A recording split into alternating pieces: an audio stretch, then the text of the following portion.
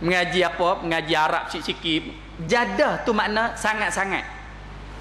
Duduk-duduk mengaji manjada wajada siapa bersungguh-sungguh ia dapat ia. Makna jadah tu makna yang sangat-sangat. Jadi kalau waktu lain haram bila buat bulan Ramadan haram yang sangat-sangat haram. Sangat-sangat haram tu haram apa?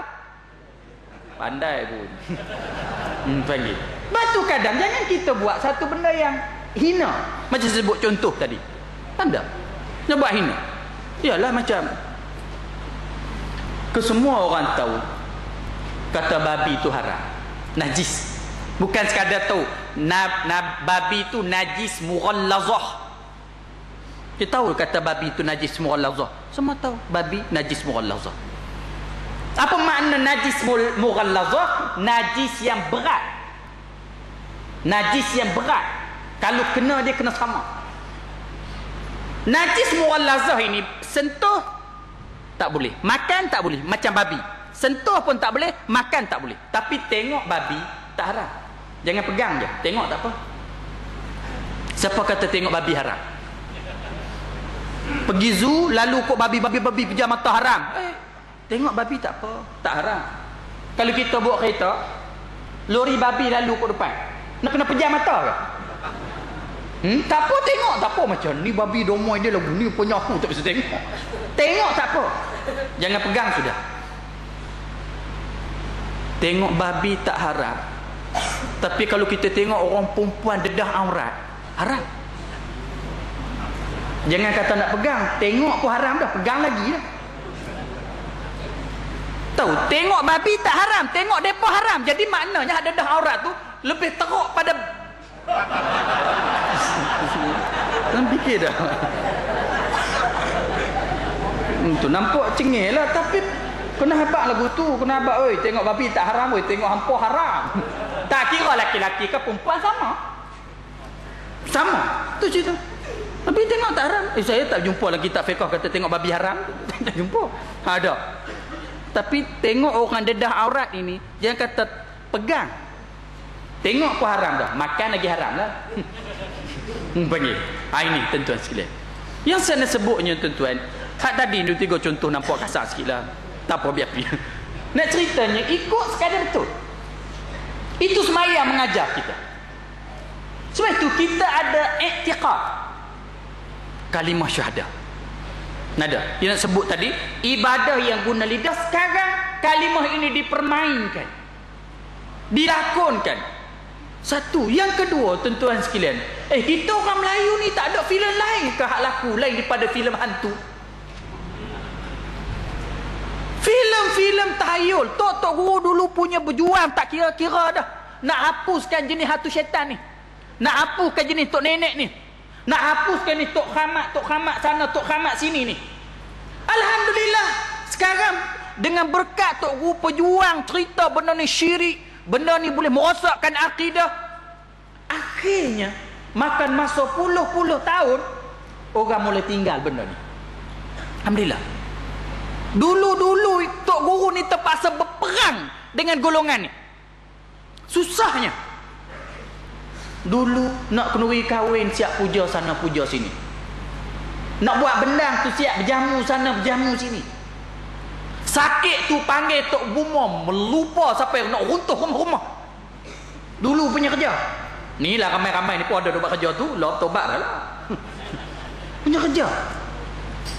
Pergi cari sana, pergi cari sini. Akhirnya apabila diperjuangkan oleh halim ulama tu benda ni syirik, benda ni rosak akidah nampak macam berjaya alhamdulillah berjaya bila benda itu dah slow dah dah orang mula tinggal dah kerja televisyen ni periduk balik benda tu pewaris jari hantu jangan pandang belakang hantu boceng serba mau nenek lagi tu yang syoknya tu dia bubuh malam Jumaat kejaga malam Jumaat ni banyak hantu awak bengong sangat Tuan-tuan sekalian, apa kena mengenal malah jemaat dengan hantu? Orang ni bila nak cerita hantu ni, cerita batu nisan, kain kapan, kubur orang mati. Ha tu. Padahal ini semua tak ada kena mengenal langsung dengan hantu. Hantu lain. Tu yang menyebabkan bila orang mati takut. Nah, padahal orang mati orang hidup, orang hidup patut takut pada orang mati, orang mati boleh buat apa? Tu sedangkan disuruh kita pergi ke kubur, ziarah kubur. Oh, kita takut. Tu Luqmanul Hakim kata rajin-rajin bawa anak kamu pergi ke kubur. Tengok orang mati. Kurang bawa anak kamu tengok orang kahwin. Orang kahwin tak sebawa sangat, bawa tengok orang mati. Tapi dah terbalik. Jangan tak bawa tengok orang mati dah heret tengok orang kahwin. Sebab tu awal-awal gatai dah. Tak ada apa-apa lagi. hmm. Dah dah. Itu patutnya kena banyak bawa tengok orang mati. Tu kadang anak-anak nak ikut jangan-jangan ikut lagi. Dia balik ikut di rumah saya payah. Malam ni dia dekat hang nak bagi mana? Dia pergi gempak aku tu. Awal lagi dah bubuh dalam kepala orang mati ni hantu. Dia tak sikit.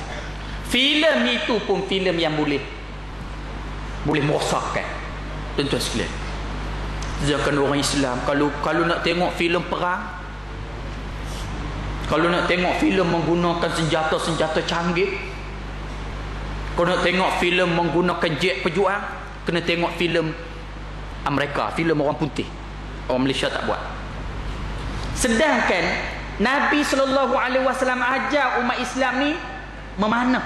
Umat Islam sukan umat Islam sukan pemanah sukan berkuda.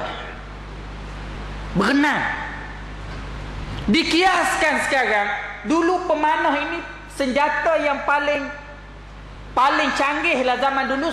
Pemanah sebab duduk siapa cekak dia duduk jauh dia pergi. Pedang ni kena pergi tikam di dekat.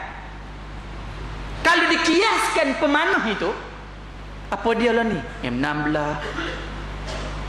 bom hmm, apa dia lagi nah yang ini Islam tak buat kalau nak tengok kena tengok yang barat punya. Yang barat punya. Kita ni dok galik filem hantu-hantu. Tidak pun bergaduh laki bini, kahwin satu, kahwin dua, tipu sana tipu sini, ha gitu je. Filem kita. Filem yang menyebabkan umat Islam jadi penakut dan bengong. Itu je. Tentu bukan menyebabkan umat Islam jadi kuat. Bukan kita halang filem itu tetapi yang ditayangkan kepada masyarakat itu untuk apa? Kerana apa? Yang lebih malang lagi filem-filem yang lebih merosakkan akidah. Itu gak bila cerita poligami dalam filem-filem ni, cerita kahwin satu, kahwin dua, semua sekali kebanyakannya isteri tua jadi mangsa. Tu orang perempuan takut sangat poligami. Hak tunjuk contoh hak poligami menurut Islam, tak ada. Semua sekali. Lepas tu cerita ibu tunggal. Nah, bila cerita ibu tunggal masa dia duduk dengan laki dia, duduk dengan suami dia, suami dia seksa dia, suami dia buat lebih kurang pada dia, akhirnya dia bercerai, dia bina kehidupan dia, maka dia jadi perempuan yang hebat. Buat kereta besar, jadi kaya, jadi apa semua. Akhirnya bila dia tunjuk filem-filem yang macam ni, ada laki elok-elok ni pun teringin nak jadi ibu tunggal. Ni, ajuk orang bercerai. Tak ada. Tu drama tu dok tunjuk, filem tu dok tunjuk. Ha, masa ada suami begini-begini tengok. Lepas tak ada suami, ha saya berjaya. Berjaya. Tengok dan kenapa tunjuk ibu tunggal berjaya, ibu tunggal berjaya, ibu tunggal berjaya sekarang. Dan macam-macam peruntukan untuk ibu tunggal ni. Peruntukan ibu tunggal macam-macam peruntukan ada. Apa semua? Akhirnya orang syok jadi ibu tunggal. Hak bapak tunggal ni Sian kita orang lelaki ni tak ada apa. Panggil tu ceritanya. Maknanya tuan-tuan kadang-kadang tak filem-filem yang ada ni bahaya. Kadang-kadang kita nak tengok filem balik-balik tengok adalah gambar tok lebay pakai serban pakai kita tengok sesuai lah. Pakai serban, pakai jubah ni kita boleh tengok ajaran sesat. Pula dah. Kalau tuan-tuan tengok pakai piah, pakai serban, data sebeh, hak tu ajaran sesat. Jahat. Oh kerja pok-pok ni jahat sungguh. Mak panggil? Ha. sampai orang faham janggut ada serban pakai hak jaga tu. Ajaran sesat. Ni kerja Yahudi. Dan tuan sekalian dia musuh Islam Hasil nak sebut tadi kalimah syahadah tadi. Ibadah yang guna lidah